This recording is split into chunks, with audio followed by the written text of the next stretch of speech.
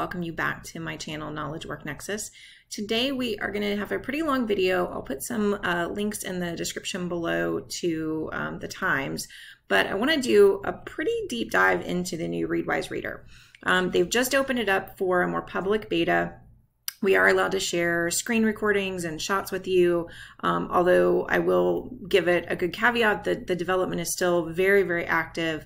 Um, and so you what you see when you finally log in might be different than what I've recorded here. And I'll do my best to keep some other videos on the channel updated so that you can see all the changes. Um, but for um, right now, I do want to get this out just so there's a pretty good guide out there for the world. So um, I'm actually going to start at the traditional readwise.io database. Um, and if you aren't subscribed to Readwise, I will put a link uh, right up above my head here, um, as well as in the description below where you can use um, my affiliate link and you can get actually a double length trial at 60 days instead of 30 days. Um, and obviously, if you do keep your subscription, I get a little fee for that. So thank you for that. Um, and if you don't like affiliate links, I get that too. That's fine. Um, but I will provide that in case you want to help support me um, and start to use the tool.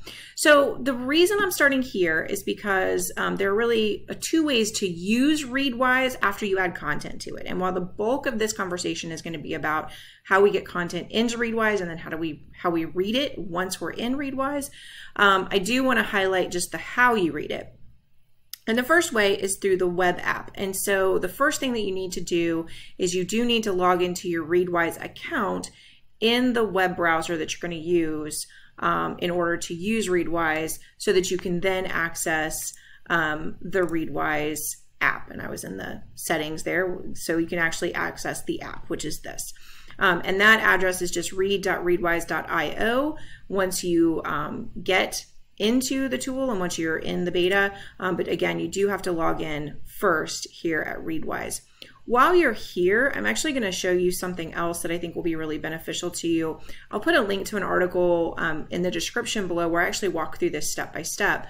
But you'll want to actually add other email addresses that you might be forwarding things to. So if you have a work email and a personal email, you only have one of those by default attached to your Readwise account. So you'll want to add other email addresses um, because it'll be a little bit easier to add things to Readwise. I'll show you two different ways to do it, but I just think it's easier if you're just always forwarding from known accounts.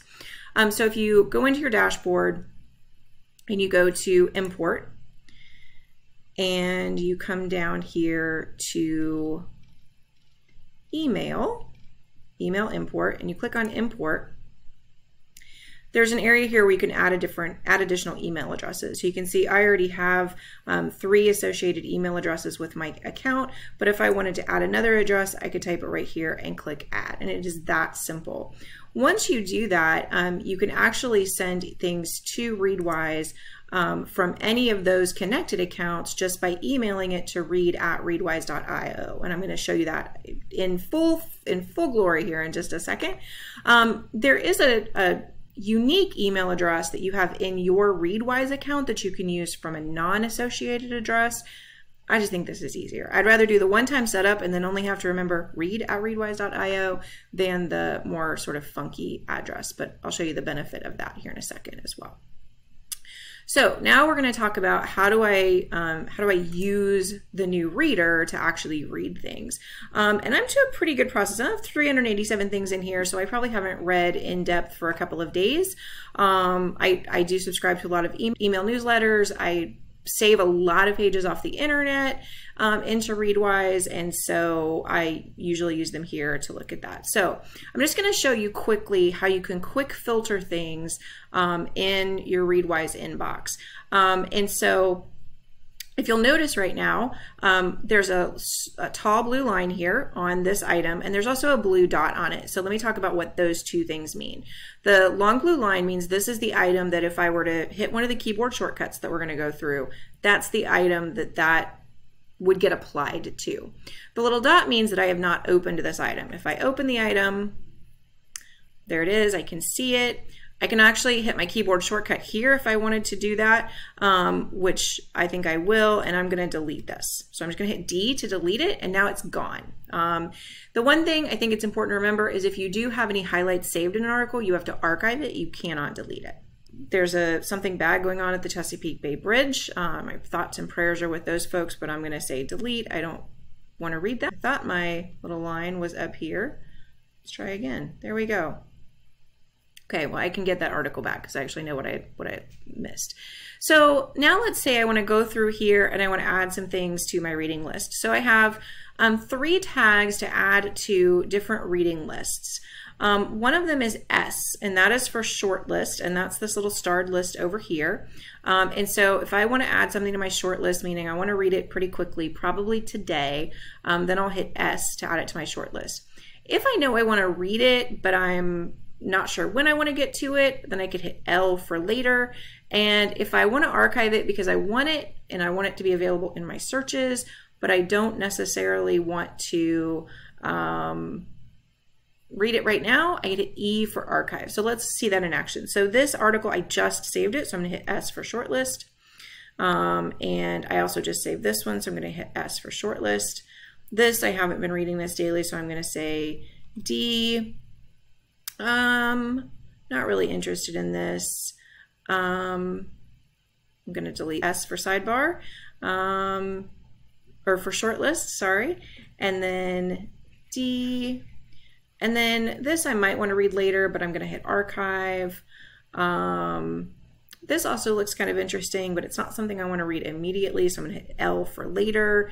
So you can see that these are all getting sort of filed. So let's go look at those each of those individual lists. So if I hit number eight for my short list, anything that's over on this left sidebar has a number associated with it You can see right there. So I can just hit that number to go to it. And you can see these are the three things that I just sent to my short list. Okay, and I've got 84 items on my short list. I have not been keeping up with my short list daily reading. I've got a couple of really long PDFs in here that I'm trying to get through and I keep getting stuck at them.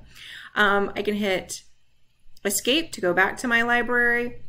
And then if I want to look at later, I can come over here and we can see that anti-nuclear activist article is added to my later. So that is definitely something I can see. My short list is also here. If you notice right here, you can also see that. Um, so I can also see things that are in my short list. Um, and then my archive is here and you can see this read like a book from marketing brew is here and you can still see it has that blue dot because I never opened it. So that's the sort of quick way to just sort your content out once it gets into Reader so that you can quickly triage things to decide what you want to do. And I'm going to escape to go back to my library. Escape always takes you back to your library from anywhere. So now that we've done sort of the, the basic things of Reader, I'll come back in, towards the end of this video and I will show you how to actually interact with a piece of a an article. Um, but for now, let's actually look how we get content into Readwise. So down here in the bottom left-hand corner of the Readwise app, um, web app, there is an apps button. And if you click that, there we go, we'll get off of that screen, you'll see a whole lot of items that you have um, available to you in order to add items to Readwise. Um, and so you can see right here, I've got this custom email address.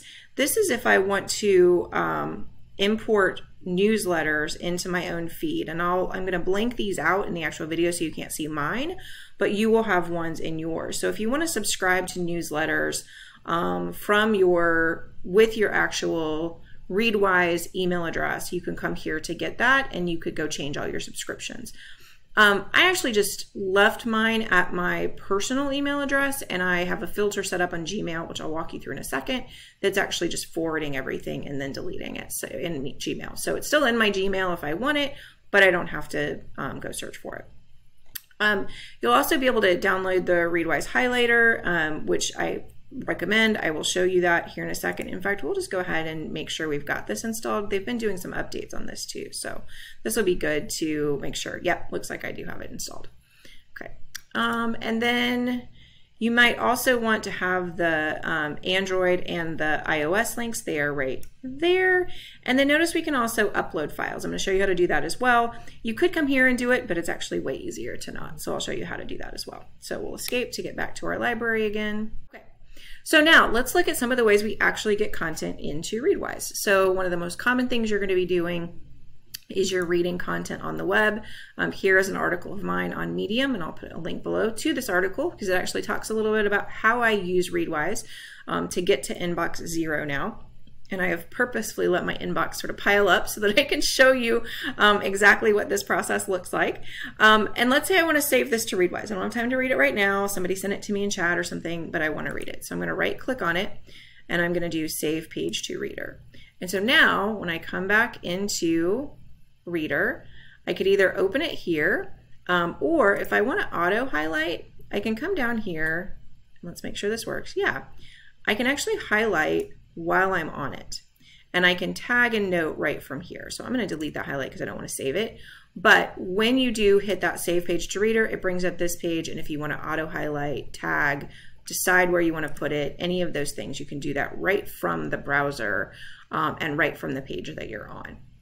They've been making some active updates to this. I didn't see anything in Daniel's last update about changes to this. Um, it's been pretty stable for a couple of weeks, but they're making updates regularly. So just remember, might change a little bit. Come back or ask, shoot me a question. I'll be happy to try to explain to you what, what I think is happening right now. Um, so the so that is content from the web, and you can see there's that article, and let's see how pretty that renders in here. I actually prefer reading in Readwise than pretty much anywhere else. Um, so now I can um, go through the article here, just using my arrows on my keyboard to navigate, and you'll see that little blue bar. The great thing about this um, little blue bar is it also acts like a tagging feature. Um, so if I wanted to tag, say, this paragraph, I just hit T, it'll automatically highlight it for me and then I can tag this with systems thinking, one of my frequent tabs. So it's a, a, really nice experience for reading. It's really seamless, really, really easy. Um, I'm gonna go ahead and shortlist this now. I think that works. There we go. So it's in my shortlist. I can read it later or I can archive it or whatever I wanna do with it later.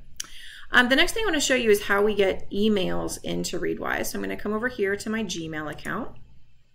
And um, let's say that this article from Coinbase, this is not something that I usually would save to Readwise, but just right here, right now, I want to save it to Readwise. So I can come down here and hit forward because I don't have time to read it right now, but I do want to read it. And I can just type, because this is an email address associated with my Readwise account from what we did at the beginning of the video, I can just type read at readwise.io and then send it and I'll go ahead and archive it as well. Let's go ahead and, and I'll show you here quickly how I actually scan through my inbox. So uh, I've read this one. I'm going to shift three to delete it. Um, this is a newsletter that I just started getting, and I might actually want to just have this automatically forwarded to Readwise.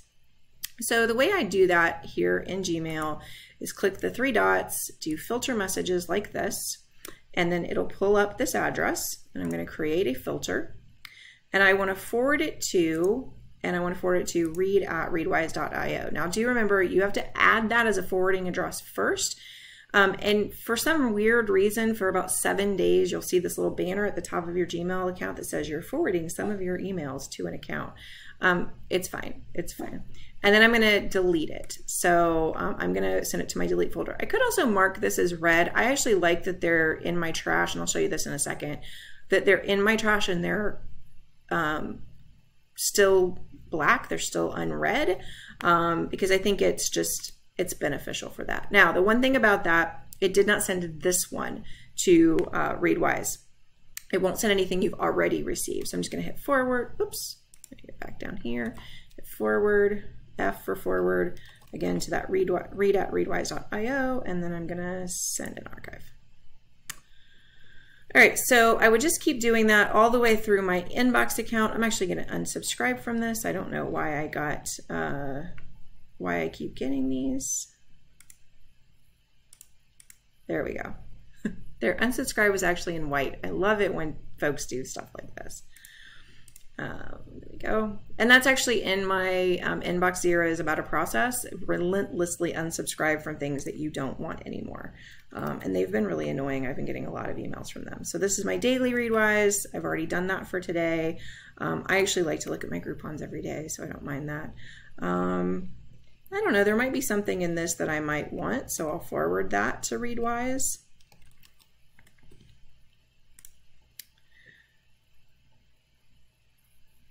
And anyway, you can see I just continue this process. Now, I, I stopped here, and that is to simply drag and drop. So I've got another of Susanna's workbooks here on my desktop.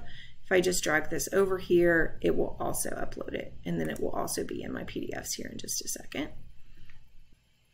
And it should, yeah, there it is. And it should also appear in my library. So both of these are also in the library. This is also a good place where I can show you that as you read through something, you get this little reading progress bar um, so that you can see items that are over here. Um, you can actually sort by um, that reading progress bar along with all of these other things. So up here in the top, sort of to the top right, the right hand third, um, you can sort by author, by category, by the last open, last move, last published, or date moved, date published, date saved, length, progress, or title. Can also change any of those to recent old, old recent. Like if I go to author, I can do Z to A or A to Z, which is another really great thing. We'll go back to date saved for right now. I want to um, also show you just how you actually interact with a specific article um, in your in your Readwise. So let's go to this Coinbase article, the one that I just um, did. And again, we're going to arrow down through it. So, all right, so if I hit um, T here to tag this or H to highlight it right now, it would actually tag and highlight this entire paragraph. I can actually get a little bit more granular if I do use my mouse. So I'm going to do that. And then I'm going to tag this with uh, crypto. And so I could continue reading this article. Um, I'm not all that interested in it. So I'm just going to hit E for archive because again, I did make highlights in it. And so I want to keep it. Um, let's go ahead and hit enter here for the politics of the Obama's official portrait unveiling and look at a couple of other things that we could do. So as I scroll through here, just doing this with my mouse, I can also tag images. So let's say that I want to tag this with presidents. Um, and then I'm going to hit escape. I'm not going to finish that right now, but again, I can see that I've already started it, so I could come back here and, and read just the things that I have in progress. I do want to show you some of the searches that you can do um, if you want to search in Readwise. Um, so let's say that I want to search for uh, Dan Doyon, I believe is how we call him. Yes, Daniel Doyon. Doyon. Daniel, I'm sorry if I'm saying your name wrong, and I know you as Dan now because I've talked to you. So Daniel's one of the founders of Readwise. You can see that I've got all of the private beta updates in here. Um, this is the newest one that I haven't completely read yet. Um, and so you can see all of the different things that are in here, but I could find that just by searching. So it's a very powerful search. I have not encountered anything yet that it can't handle when I'm trying to search. So I think I'll stop there for today. It's a fairly good comprehensive overview of the basic features of Readwise's new reader. Um, again, if you have questions, feel free to drop them in the comments below. There are a load of things I didn't cover, um, and I would love to do more videos if those are of interest to you. Um, so please do drop those in the chat below, and I'll be happy to try to figure out the answer to your question. Don't forget, if you liked this video, like and subscribe, and don't forget to check out those links in the description for affiliate links and links to other articles that might be relevant to this. Thanks, everybody. Have a great day.